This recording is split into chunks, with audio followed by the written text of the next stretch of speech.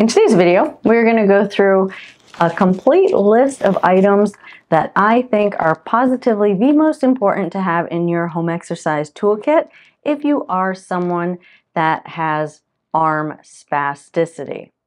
So I know I've made a ton of videos on arm spasticity, but what I hope to accomplish in this video is briefly explain what spasticity is or what it might look like so that you know whether or not you have spasticity in your arm, as well as what I would consider kind of like the essentials in a toolkit to help you manage that spasticity or minimize the impact that it has on your arm rehab exercises. If you're new to this channel, I'm Tara, I'm a neurologic physical therapist, and on this channel we talk about anything and everything related to mobility, health, fitness, and mindset in the context of neurologic injury with the end goal of empowering you with as many tools as possible to take ownership of your rehab and your health to live an overall more active, more mobile, pain-free, happier, healthier life. Now, before we dive into the meat and potatoes of this video, as a reminder, we do have a membership program. Our membership programs start as little as $5 a month for an annual membership. With your $5 bronze membership, you will get access to our private Discord channel where you can inter interact with me and other members, as well as access to any handouts that might go along with these videos that we have here on YouTube. To learn more about that, visit www.rehab-hq.com that would also be where you can sign up if you want to join our community. But now back to the video. Okay, so first and foremost, what is arm spasticity? First and most important thing to know about spasticity is it is a sign that you have damage to your brain or your spinal cord. So the good news is, is if you've had imaging done and you know that you don't have any damage to your brain or your spinal cord, there is a good chance or almost 100% chance that you do not have spasticity. So again, if you have spasticity, there would be some kind of a lesion or damage that shows up on an MRI or some form of imaging that looks for damage to the brain or spinal cord. That's very, very important because I'm getting more people on this channel that don't have any neurologic damage showing up on any images. And in that case, I would say that there's a good chance that it's not spasticity. But now, if you do have damage to your brain or your spinal cord, yes, you may have spasticity. What spasticity is, it's an involuntary contraction in a muscle. There's different theories on why this happens after damage to a motor area of the brain. The explanation that makes the most sense to me is just that our brain is very, very involved in inhibiting movement. So if you look at infants, they're just kind of like moving all around all the time.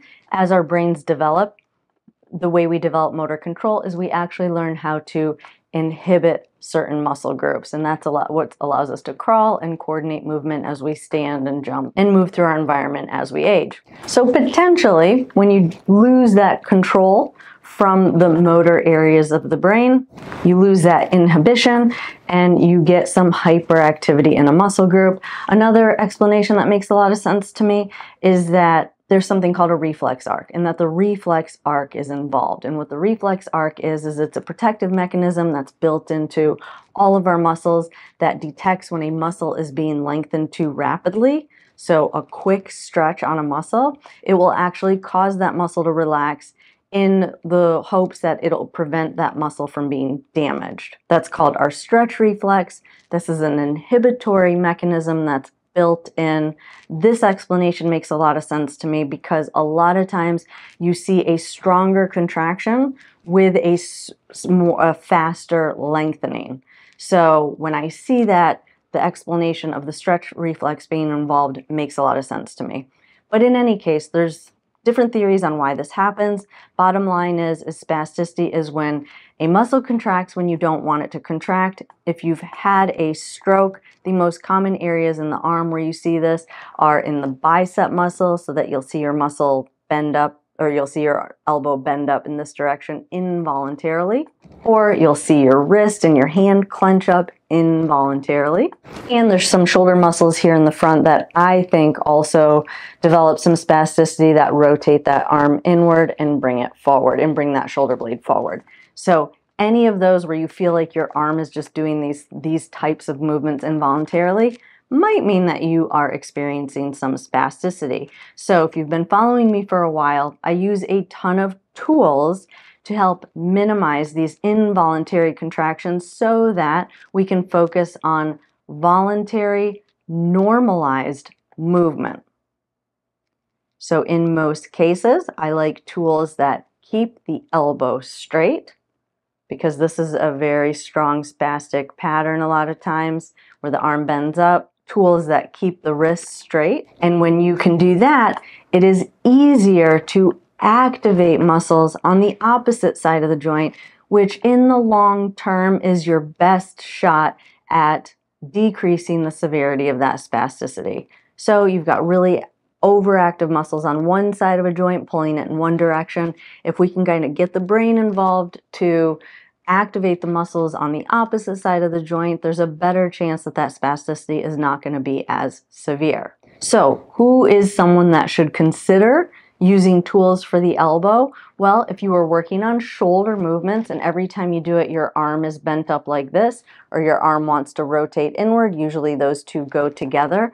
I would do, I would use tools to make sure that you're not getting those movements so that you can normalize a movement pattern, meaning you can reach your arm forward and extend your elbow eventually, right? Or that you could reach out to the side and extend your arm out to the side, that's where tools for the elbow become really, really valuable.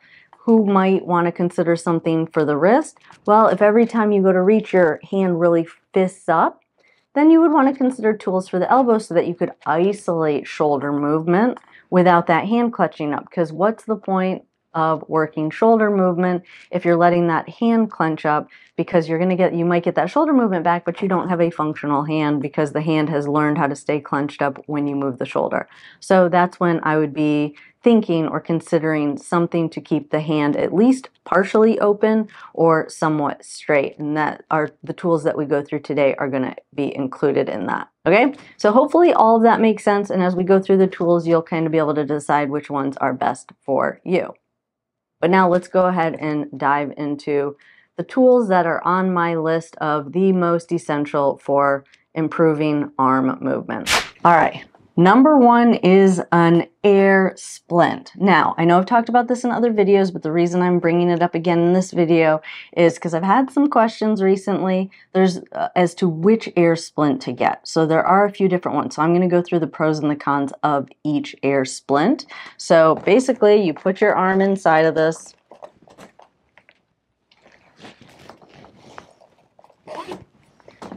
You zip it up and you fill it with air, you pump it up, and it keeps your arm straight. Now, the first question I get a lot about this is it's too long. It goes past my hand, right? And you can see that it clearly does, and it does on most people, and that is the point.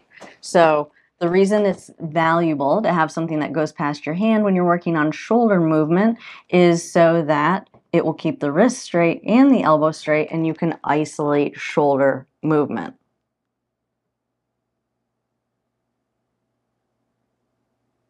All right, so again, this is for someone who wants to isolate shoulder movement. But then there's this one, and some people have asked me about this shorter one, and this is actually one for the hand. So some people have purchased this one thinking, well, I, the long one is too long, and so I need the shorter one.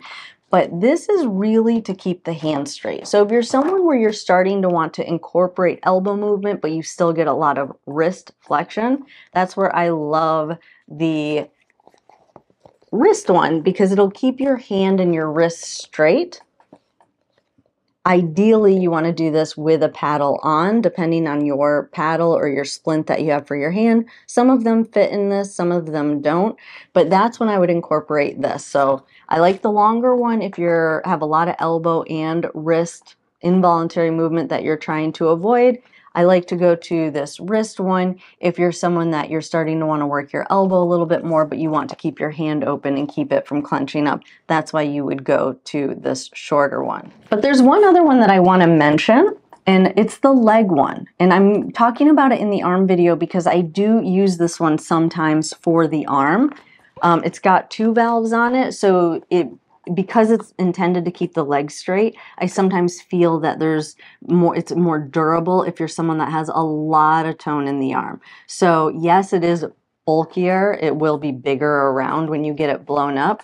But I do find that someone that has a lot of tone, sometimes going to a leg one does work for the arm. The other reason I like the leg one is that because it's wider, you can put your hand splint on and put this on top of it. Whereas with the arm one, it's just not big enough around to have your hand splint on because that comes all the way down over the hand. So I do just want to mention the leg one is an option that some of you might want to try for your arm rehab. Again, it's a little bit heavier and a little bit bulkier, but it works and I use it quite a bit for shoulder exercises.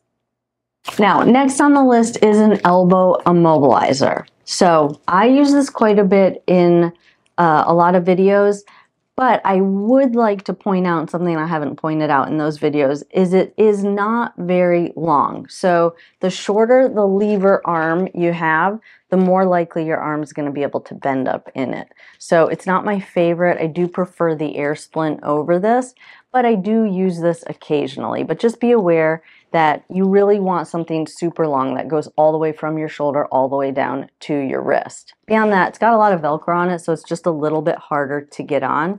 Now, what does work is I have gone to a knee immobilizer, and that works in some cases because it's longer, but you just have to rig up the Velcro straps a little bit on it because you have to make it a little bit smaller around. And so it does require a little bit of like rigging.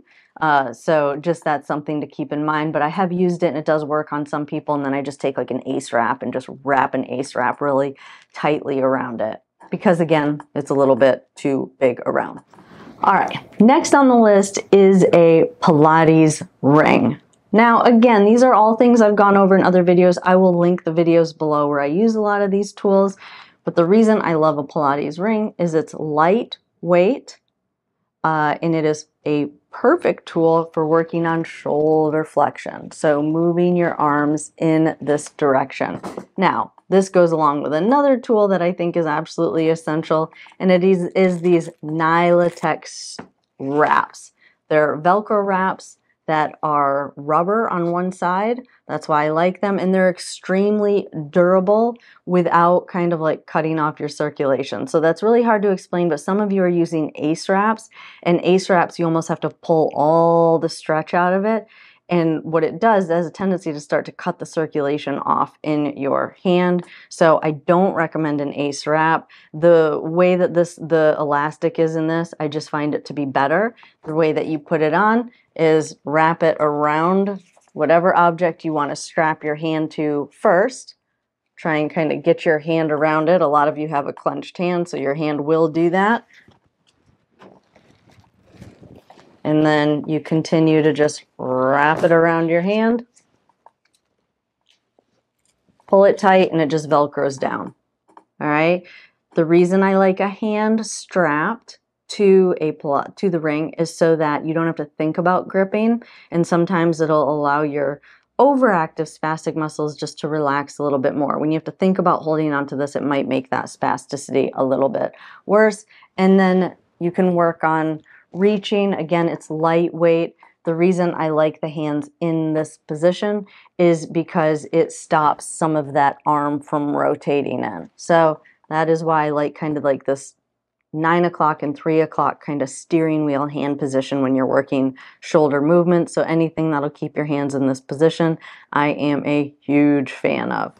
All right, and then next on the list, this is a spatula. So it's a spatula, and then I just cut a cutting board and kind of, uh, there's these thin flexible cutting boards and kind of laid it over the top and then duct taped it. So basically what I have is basically just like a surface that's flat with about 10 degrees of bend right here.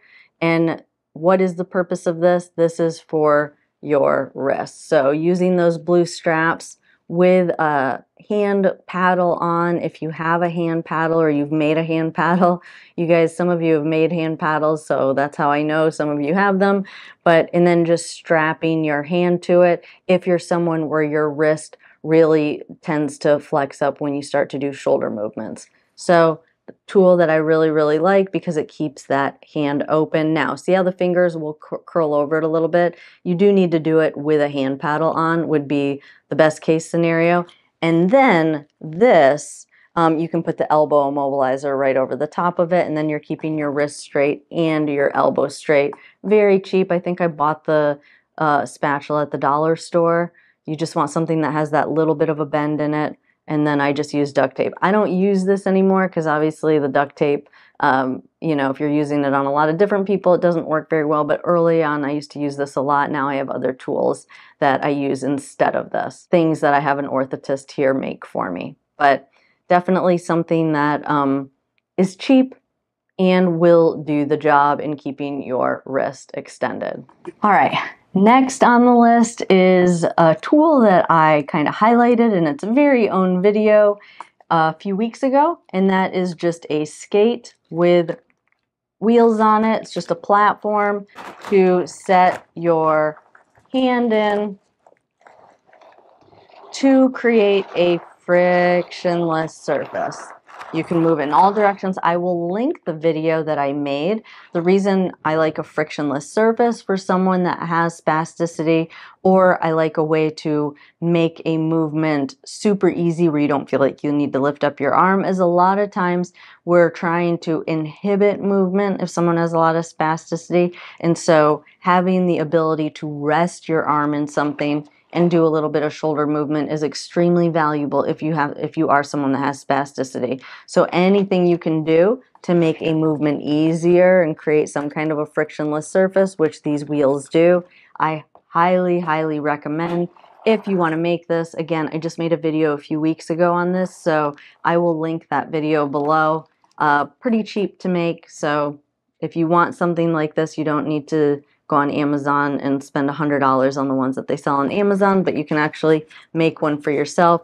But the end goal or like the main purpose, I would say, of me bringing this tool into this video is to say that with spasticity, the easier you can make an activity, the better because again, we're trying to probably inhibit more muscles than we're trying to activate if you're someone that has severe spasticity. So we need to give the brain the perception that an activity is very easy so that hopefully we can prevent a lot of that involuntary movement or at least a little bit of that involuntary movement from kicking in when you are trying to actually do the movement in the opposite direction.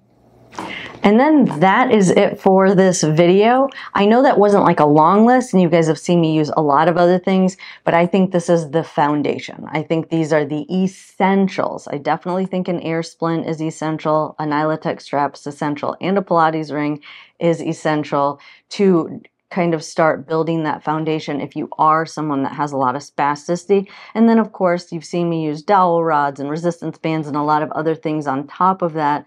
But I think this is the bare minimum of the things that you need if you are someone that has spasticity and you are trying to restore normal movement.